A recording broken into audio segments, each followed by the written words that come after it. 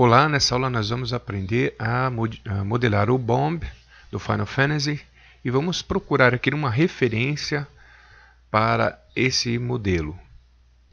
Nós temos uma imagem aqui, pesquisando no Google, Images. Você pode observar esse tipo de referência que nós vamos utilizar, tá? só para ter uma ideia da frente, por exemplo, a frontal, o topo, tá? só para ter uma ideia de como é o Bomb.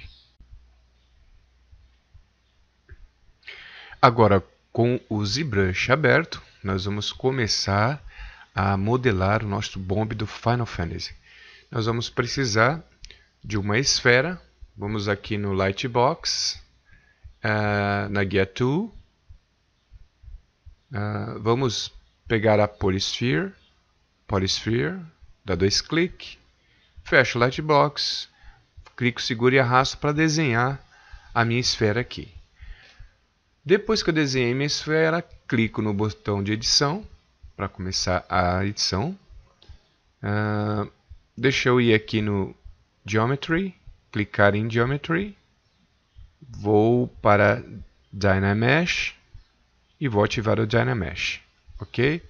Clique em Yes, pronto. Estou pronto para fazer a edição e depois recalcular essa topologia para que possa sempre ter mais, ter mais polígono para poder estender a nossa malha e modelar o nosso personagem. Ativei aqui o Mirror, né, a simetria, apertando a tecla X, vou manter a resolução. O pincel Brush, uh, eu vou dar uma ajustada no draw dele, no tamanho dele, clicar com Alt, para poder marcar aqui a boca do personagem. Opa, clicando com Alt para afundar e marcar a boca do personagem. Pronto. Alt. Isso. Aqui a gente define mais ou menos onde a gente vai ter a boca do personagem, tá? Ó, eu posso ligar aqui o floor, o piso, tá? E ativar os dois campos de visão com o Y e o Z ativado, eu posso verificar se eu estou de lado ou de frente da esfera, tá? Se caso você se perder, você tem como se localizar conforme a aula anterior que eu mostrei para você, tá bom? Vou dar mais uma definida aqui, puxar um pouquinho a boca mais para dentro. Depois a gente vai aumentando a resolução, não tem, não tem preocupação. Né? Começa com a resolução baixa, depois a gente vai ampliando a resolução. Marquei a boca, vou aqui marcar os olhos, Pronto. Eu meio que defini os olhos aqui. Eu quero nessa posição. Tá?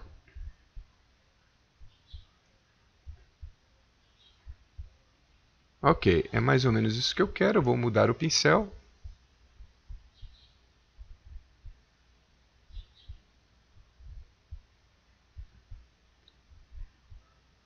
Aliás, eu vou aqui, vou trabalhar ainda com o meu standard. Com o Alt apertado, eu vou dar uma pressionada aqui já para dar uma marcada mais profunda na boca, já definindo um pouco a parte que vai ser mais funda.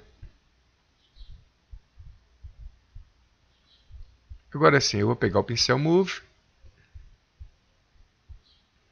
aumentar um pouquinho o ângulo dele e vou aqui dando uma fundada, uma aprofundada na boca, na parte que eu quero que fique mais para dentro.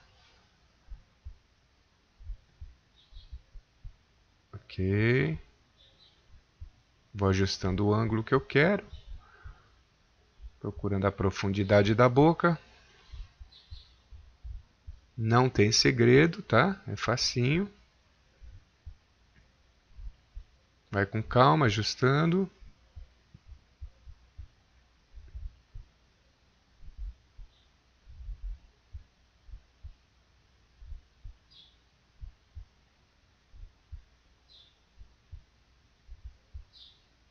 Ok.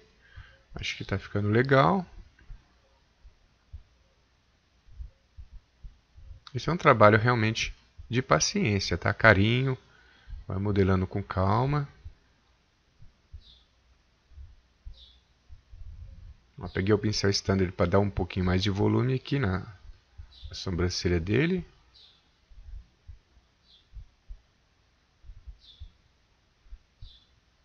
pequena marcada aqui. Marco um pouquinho mais os olhos também, dando mais uma aprofundadinha. É simples. Depois a gente vai aumentando o nível de resolução e dando mais qualidade ao personagem, tá? Comece é assim mesmo, conforme nós fizemos o modelo anterior. Lembrando que com o Dynamesh ligado eu posso recalcular a topologia toda do meu personagem. Bom, agora eu vou pegar o Snake Hook, que é um pincel para poder fazer aquelas barbatanas interessantes, e vou puxar, vou usar ele para puxar o braço do meu personagem. Ajustei o tamanho do pincel. Dei uma pequena puxada.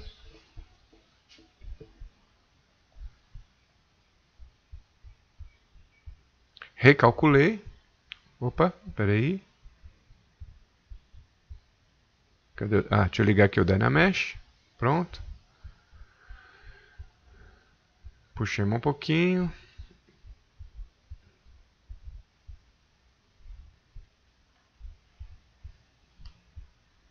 Dá uma subida nesse braço aqui.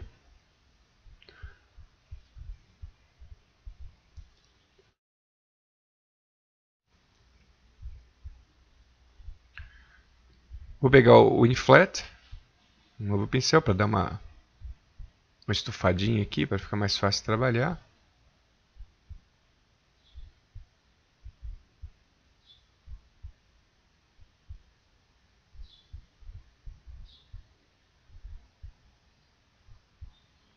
Pronto, meio que defini aqui o braço.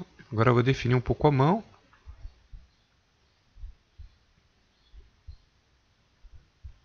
Pronto, daqui eu posso tirar a mão do personagem. Vou usar o pincel Move para dar uma achatadinha.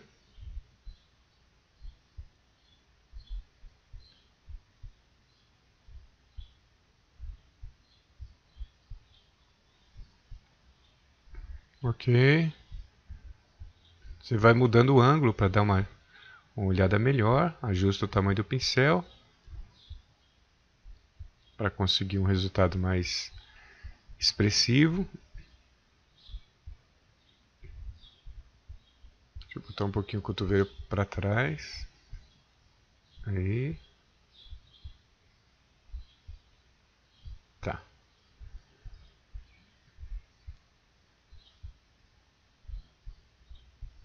Trocar o pincel pegando flash para dar mais uma engrossadinha aqui. Vai sempre alternando entre os pincéis e buscando o resultado que você quer mais próximo do final da qualidade do seu modelo. Lembrando que nós estamos nos primeiros passos, estamos apenas tentando imaginar aqui como que vai ser o resultado do nosso personagem. Ó, eu usei o Snake Hook para dar uma puxada aqui no chifrinho dele, nos, como se fosse um, uma pelagem dele. Como que fosse umas escamas.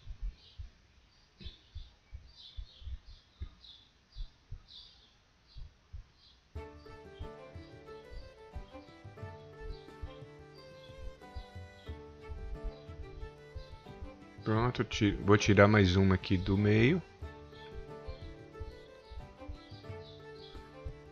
Com o Snake. Deixa eu diminuir um pouquinho o draw dele para não pegar do lado.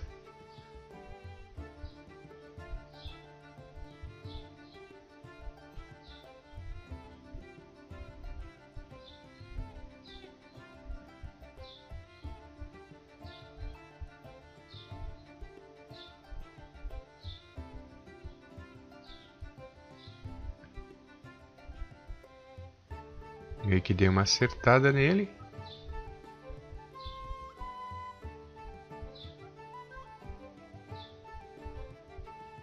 Dependendo do ângulo, eu consigo puxar mais ou menos para onde eu quero.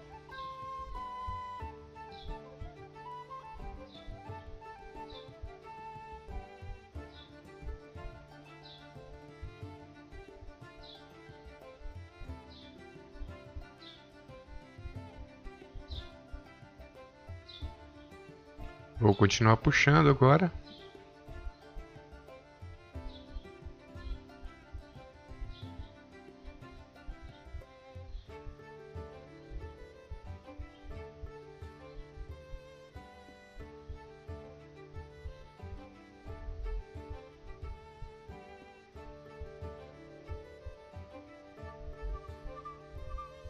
Agora com o inflat eu vou dar mais uma encorpada neles.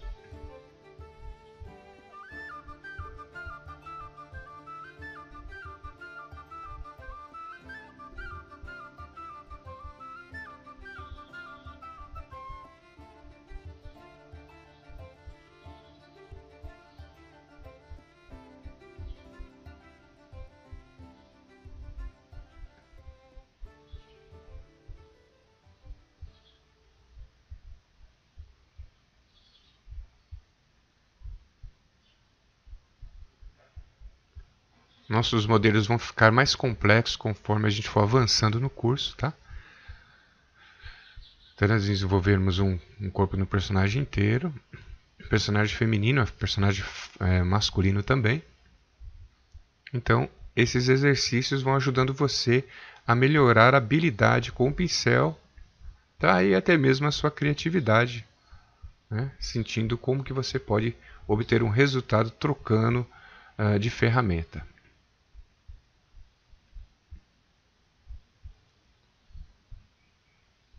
Já meio que definimos o nosso bomb. Acho que está ficando legal.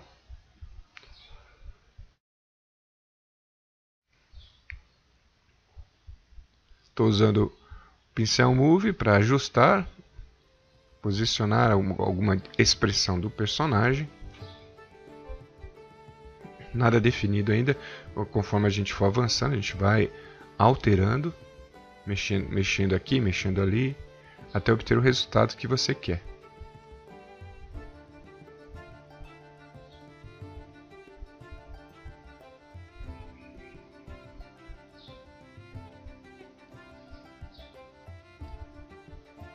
É realmente um trabalho de paciência, tá?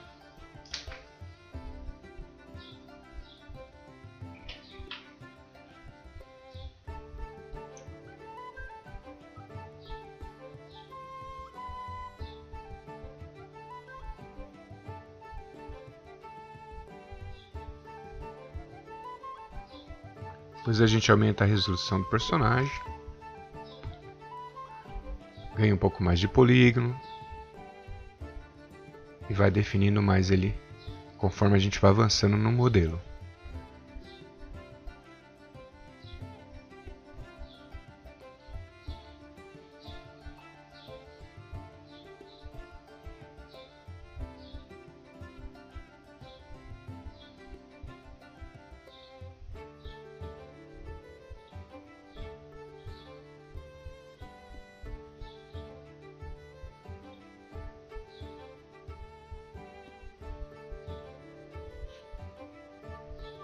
Eu acho que tá ficando legal, tá? tá Para os primeiros passos do personagem, a gente já conseguiu já meio que sentir como é que vai ser esse personagem.